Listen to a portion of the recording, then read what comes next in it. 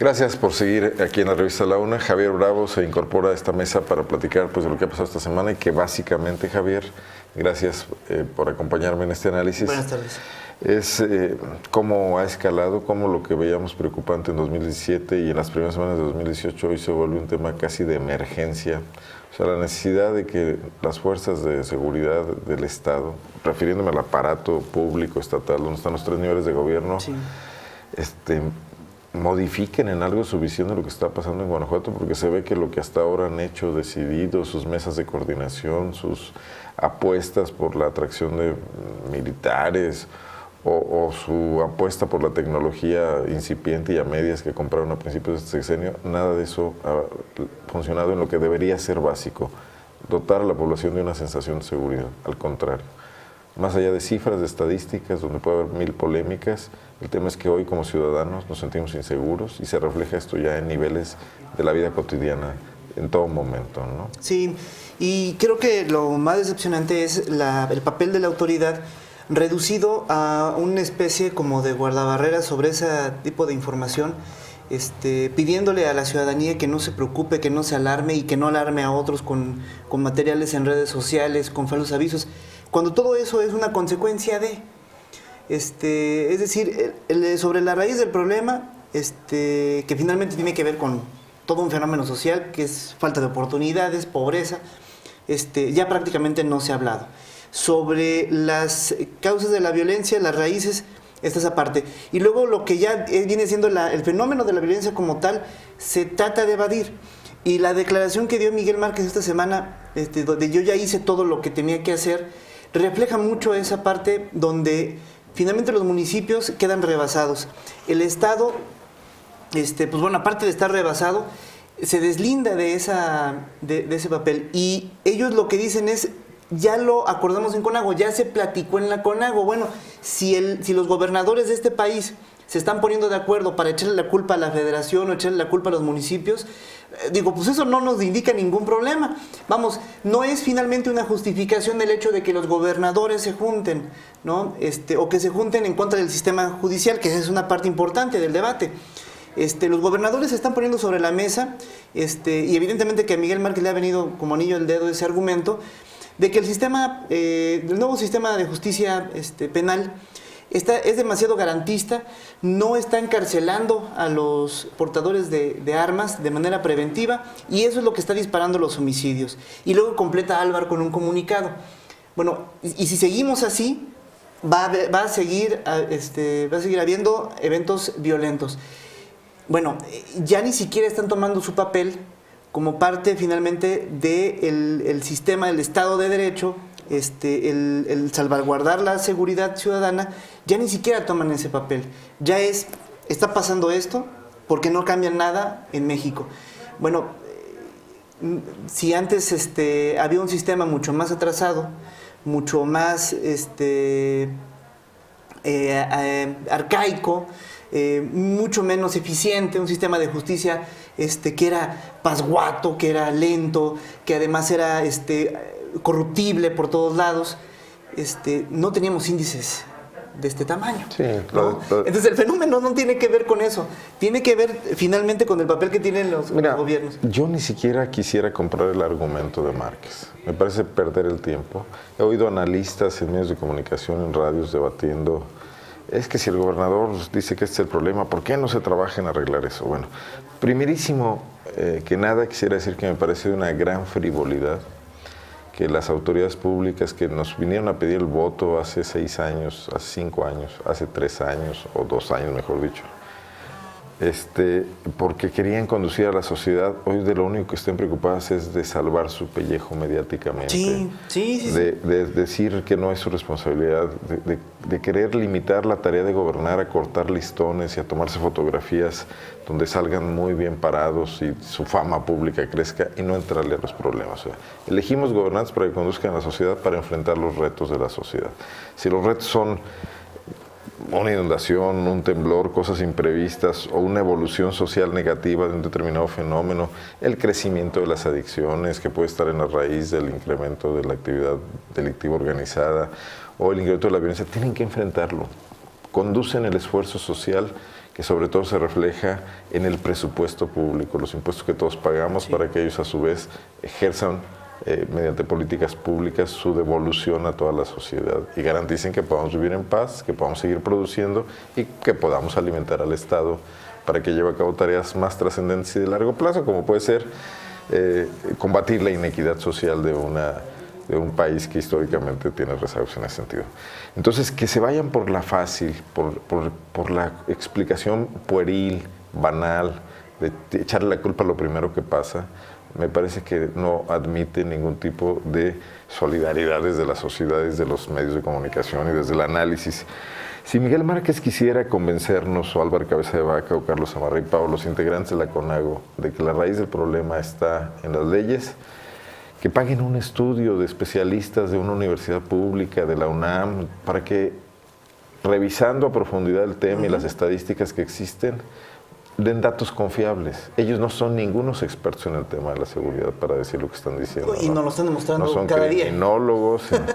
bueno, entonces sí me parece una gran frivolidad.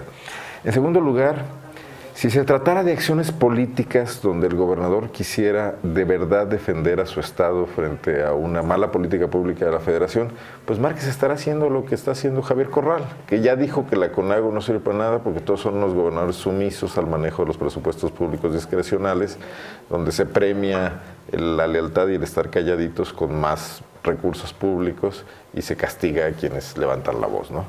Entonces eso ya pasó a la historia. La CONAGO de los gobiernos panistas que tenía algo de fortaleza con los gobiernos periodistas con Peña Nieto volvió a ser sometida y ahí se sometieron los, los gobernadores del PAN, del PRD y del PRI. Entonces, creo que estamos viendo un asunto de muy poca seriedad y lo único que garantiza que siga creciendo la violencia es eh, la falta de entendimiento de quienes conducen la política de seguridad a nivel estatal para tratar de proponerle a la sociedad una estrategia a la que nos podamos sumar, ¿no? Para que sea una reacción de toda la sociedad contra esta amenaza. ¿no? y es que hay una parte importante en lo que dices, este, porque se habla de mesas de coordinación y mesas de, inteligencia interinstitucional de, los niveles de gobierno. Este, a ver, si fueran ciertas, digo, concediéndole ese dato a Álvaro Cabeza de Vaca, él menciona que el 90% el 90%, así lo afirma, el 90% de los asesinatos que se cometen en Guanajuato están ligados al crimen organizado. Por tanto, ya tiene que intervenir este, la federación. A eso obedece el llamado que les están realizando.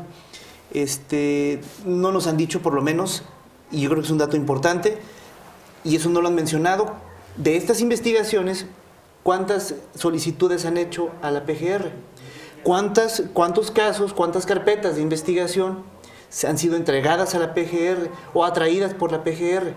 Es decir, es muy fácil decir, la federación no está haciendo nada, la federación no está integrándose al, trabajo cuando hay delitos federales. La raíz de los delitos es fuero común, es un asesinato. Y ese es el, delito que está haciendo crisis en Guanajuato, principalmente. Eh, hay algunos otros que tienen incrementos, pero este es el que sin duda se ha multiplicado por varios enteros año con año. Este, y la explicación es que son del crimen organizado. Entonces, esa mesa institucional o no está sirviendo mucho porque no estamos viendo todavía un esquema de coordinación más allá de la persecución de estos, de estos hechos.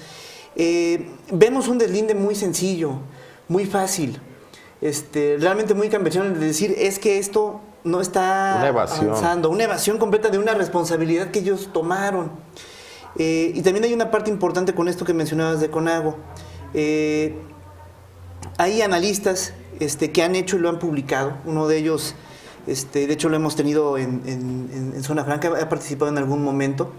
Este, eh, Santiago Roel es uno de ellos. Este, el columnista Alejandro Hop. Alejandro Hoppe, que ha mencionado cómo ha cambiado el narcotráfico en México. Hablando ya de un tema concreto, ¿no? Y entrándole de lleno. El crimen organizado en México se modificó de grandes cárteles que centralizaban el poder de manera territorial y en grandes zonas del, país para finalmente dar, darle entrada a pequeños cárteles o cárteles pequeños, grandes o medianos, digo, del tamaño que sean. O células de los anteriores. Que están acendrados en los estados y que se dieron cuenta que había un mercado local que era mucho menos riesgoso que hacer un trasiego de drogas hacia Estados Unidos. ¿Por qué? Porque se metían con el, con el, mismo gobierno estadounidense, porque los filtros de la federación estaban cada vez un poco más cerrados por la presión social, precisamente por eso. Y entonces empezamos a caminar hacia otro tipo de, de crimen.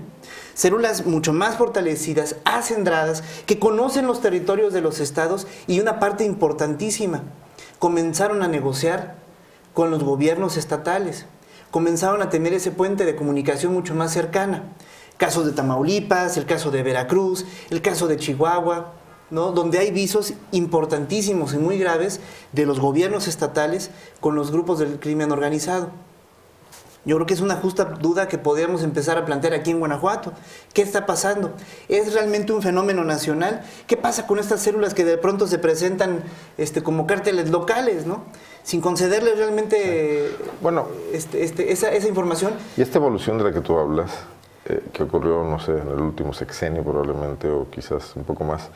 De ella tiene la película completa nuestra, nuestro procurador de justicia, que tiene ocho años en el cargo. Tiene mucho tiempo. Él, si quisiera, sabría explicarlo muy bien. Es muy complicado que Samarripa quiera hablar de esos temas. Ni siquiera una versión light, edulcorada para la opinión pública. Pues. Una postura que fue modificando. ¿eh? al principio de su de sus funciones, hablaba abiertamente de los crímenes organizados y boletinaban cuando detenían a miembros de alguna célula de algún cártel. Pero él podría, en una mesa de coordinación con el gobernador presente, podría muy bien tener la película de lo que está pasando y establecer qué medidas a tomar podrían ser efectivas. Sí. Y, bueno, ver algo racional en el combate a la, a la inseguridad. Yo creo que parten de un gran pecado, de un gran error, que es haber eh, vendido con tanta... Em, ¿Cómo se le puede llamar? Con, un, no era, no era optimismo, bueno, sí, con promesas falsas el tema del, escudo tecnológico, del programa de, vigilancia tecnológica, que, bueno, probablemente no iba a servir para, para, todo lo que en un momento dado dijeron, es lo más seguro, pero que quisieron plantearlo así para allanar la contratación para poder evitar críticas en la contratación, escudándose en que iba a ser un mecanismo de blindaje. No lo fue tal, no podía hacerlo, pero sí se gastaron un dineral y es probable que más de lo que costaba. Y a partir de ahí han venido encubriendo. Es como el que dice la primera mentira y para tapar la primera mentira tiene que venir diciendo otra sucesivamente. Y es un pecado original del gobierno de Miguel Márquez. ¿no? no siquiera puede atribuirlo a sus antecesores. Entonces ahí ya se rompió un vínculo de confianza entre este gobierno y la sociedad, por lo menos de los grupos organizados, grupos empresariales, organismos de consejos ciudadanos de participación, lo que sea, hay que venir justificando y justificando. Y hoy la justificación ya no alcanza para nada. Ahora es la ley, antes eran otro tipo de cosas. Una ley que se, insisto, lo he dicho aquí otras veces, se debatió durante mucho tiempo, académicamente y políticamente, y luego en las cámaras, y en ese momento nadie dijo, esta ley no va a traer problemas. Entonces, ¿por qué ahora que entra es objetada? Si mañana hay un cambio, les dan la ley que ellos quieren, igual van a encontrar un defecto, porque lo que está fallando es la operatividad, lo que está fallando es la corrupción de los cuerpos de, seguridad, de las propias eh, fuerzas del Estado, de las propias policías ministeriales. ¿no? Lo que está fallando es la logística, la coordinación entre, entre diferentes corporaciones de seguridad y la conducción estratégica desde el más alto nivel del gobierno, que es la gobernatura y la presidencia. Aquí nadie va, a defender al PRI, yo creo que el PRI está haciendo un gobierno desastroso a nivel federal y se ve en muchas cosas. Pero eh, no puede ser el responsable de todo exculpando a los demás. Al final del día todos son responsables de lo que está pasando. Y nadie quiere que, que se quede en eso. El tema es, acéptenlo, siéntense y empiecen a pensar en una estrategia viable, porque lo que han hecho hasta ahora no ha funcionado. Les quedan ocho meses y fracción de gobierno, son ocho meses muy importantes. Una sociedad no puede darse el lujo de desperdiciar ocho meses de tiempo. No han terminado su sexenio. Digo, es una vacilada que Márquez, y voy a precisar, Márquez dijo que ya había hecho eh, lo que estaba en sus manos en una sola materia, que es haber insistido en el cambio de la ley, en la CONAGO y haber impulsado una iniciativa junto con algunos otros gobernadores y algunos diputados. No es cierto, no es suficiente, no es todo lo que podía hacer podía mejorar más a sus policías, podía eh, eficientarlas más, podría coordinar mejor a sus alcaldes, a los 46, no solo a los del PAN, ¿no? porque al fin de cuentas él es un líder político estatal de un nivel de gobierno que tiene que ver con todos los demás. Eh, los recursos eh, que, tienen los municipios son insuficientes y el Estado es el que tiene que acudir en su ayuda, como a su vez la Federación acude en ayuda del Estado, porque tampoco se basta a sí mismo. Entonces, vemos, vemos, una falta de acción política, no de acción solamente policial, ¿no? Fíjate que me, me, llama la atención este, en eso que mencionas, en la relación que tiene con los municipios, el caso del mando único. El mando único, lo informamos aquí en Zona Franca, es una estrategia en la que el gobierno prácticamente absorbe la corporación completa de un municipio, pero no solamente la corporación, sino también los recursos este, a los que accede el municipio. Si el municipio accede a cierto número de millones de pesos del eh, Fondo de Fortalecimiento de la Seguridad, este, que proviene de, de la federación, este, esos recursos se van a trasladar completamente al Estado, para que el Estado tome las funciones de la policía estatal. No solamente eso, el municipio tiene que este, depurar a su policía, liquidarla a la que no sea capaz para que entre en el mismo filtro del mando único policial y a partir de ahí ellos toman el mando. A partir de que han tomado el mando, los índices no han bajado. Los índices siguen ahí, incluso con acciones que parecieran más retarlos este, que apaciguarlos. Eh, la actitud de Miguel Márquez con esos municipios es muy diferenciada. Y precisamente no sé si sea por los colores, no sé si sea por las críticas. Eh, ese capítulo me pareció muy ilustrativo de esta situación. Cuando Erlindo, alcalde de Salvatierra, después del ataque al Hospital General, Erlindo Velázquez, eh, se le pregunta, el diario Correo le preguntó directamente, oiga, este, ¿no ha analizado pedir el mando único? Y él les contesta, no sé si sea la solución. Alcaldes de otros municipios me dicen que no funciona. Y pues yo necesito revisarlo muy bien. La actitud de Márquez es exhibirlo. Digo, en buena parte, pues qué bueno que, lo, que, se exhiba la vulnerabilidad en la que está Salvatierra para conocer realmente cuál es la magnitud del problema que se está enfrentando. Pero lo exhibe rebatiéndolo, lo exhibe confrontándolo. Primero, que mejore su policía le faltan muchos elementos. Y además no están acreditados, ¿eh? ni su director está acreditado. Ese tipo de expresiones ilustran mucho la postura de un gobernador que está ya más en la recta final, queriendo deslindarse del problema, responsabilizando a los municipios o responsabilizando a la federación. Si es el mando único, es que es la federación. La legislación no está modificada ni comando único la vamos a batir. O sea, es, hay una infuncionalidad total. Entonces, entendemos, entendemos prácticamente este tipo de expresiones como eso. Si el gobernador se sentara en una mesa con el alcalde, sin prensa de por medio, y le dijera, a ver, tienes estos problemas, ¿cómo los solucionamos? ¿En qué te ayudo? ¿Qué puedes hacer tú? ¿Qué podemos hacer nosotros? Y luego salieron a dar un comunicado conjunto, aunque fuera con las frases de toda la vida, diciendo nos vamos a poner de acuerdo y vamos a trabajar. El hecho de la forma. Digo, uno puede entender que cuando estás en guerra, eh, los estrategas no tengan obligación de decir todo lo que pasa, pero tienen la obligación de mandar señales me dan señales de que se están poniendo de acuerdo y luego demostrar resultados de que eso está funcionando.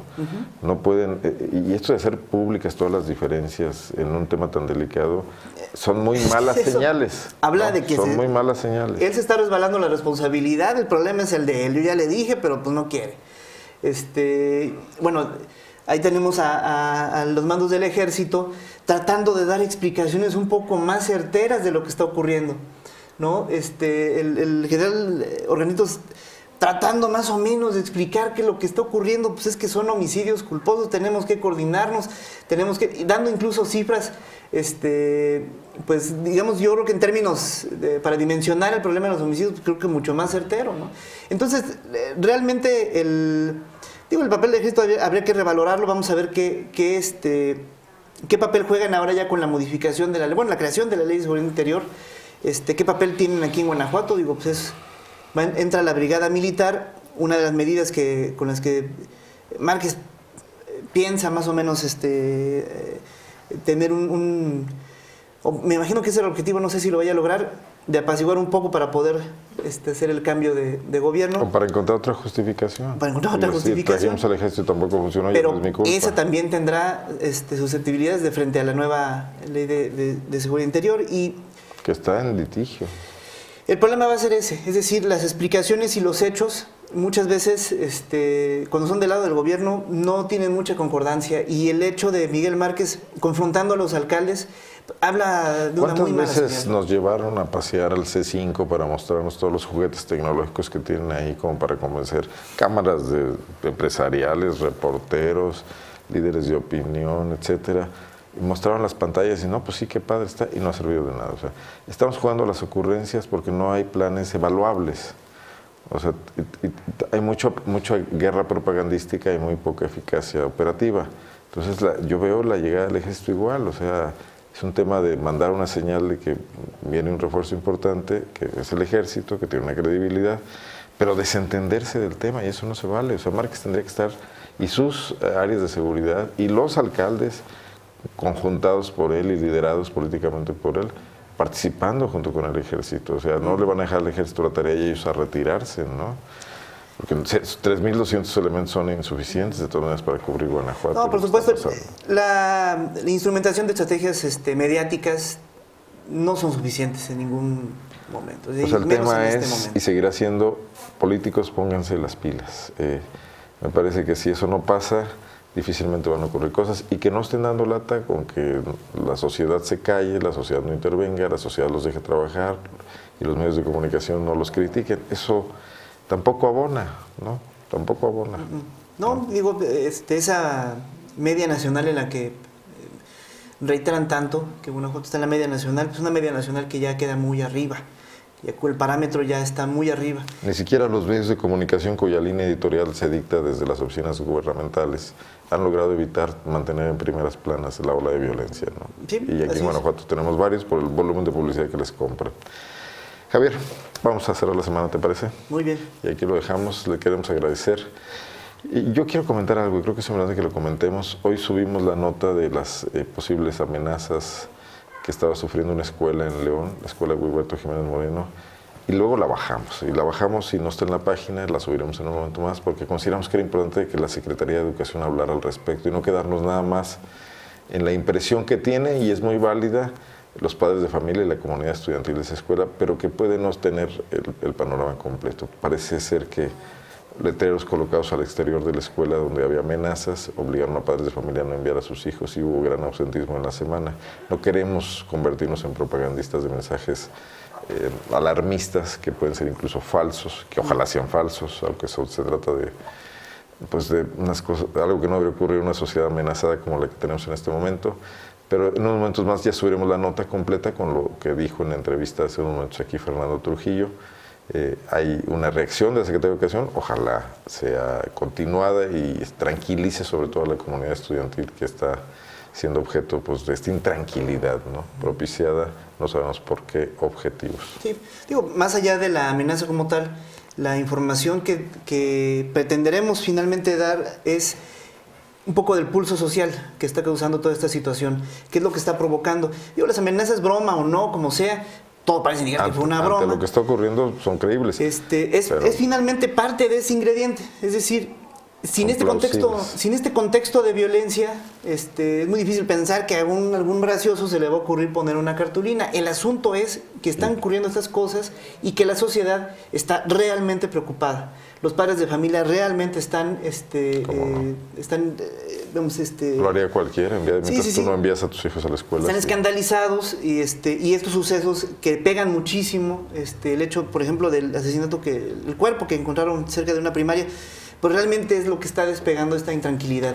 Entonces eso es lo que, en lo que insistiremos en llevar finalmente información que trate de reflejar el pulso social.